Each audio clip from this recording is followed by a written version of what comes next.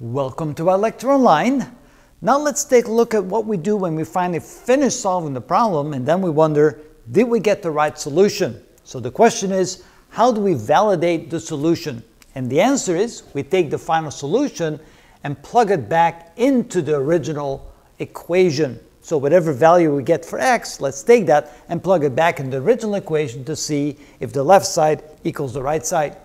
So here, let's try to solve this problem. And first of all, we realize we have fractions, so the first thing we should do is get rid of the fractions. And so what is the lowest common denominator here?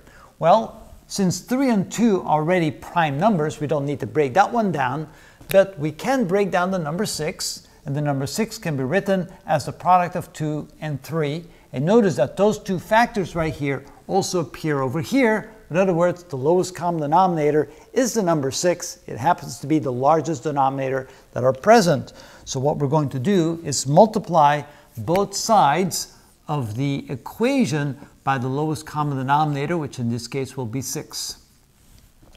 All right, what we have here now is we have 6 divided by 3 is equal to 2. 2 times 4 is 8x.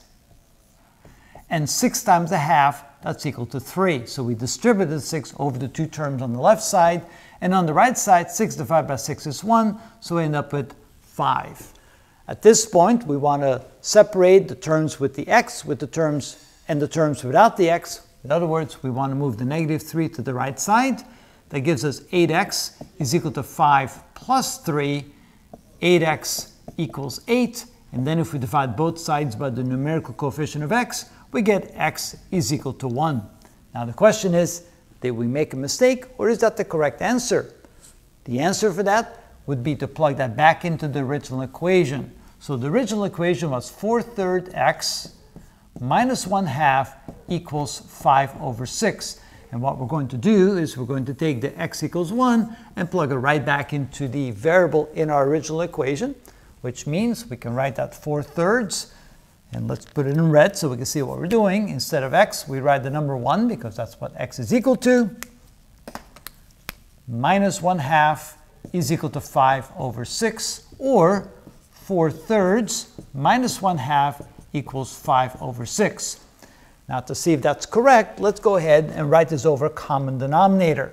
So the common denominator would be 6, which means I need to multiply both the numerator and the denominator by 2 for this fraction, and over here I need to multiply the numerator and the denominator by 3 so that the denominators can then become equal to 6.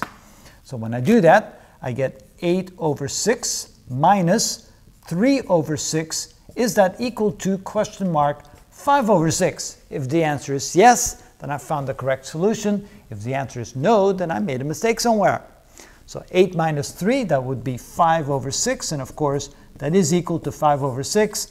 Since the two sides are equal, that means the solution I found is the correct solution. So the answer is, if you find the solution to your equation and you wonder if you got the correct solution, plug that answer back in the original equation, work it out, make sure that the two sides are equal, and then you can say, I found the right solution. That's how it's done.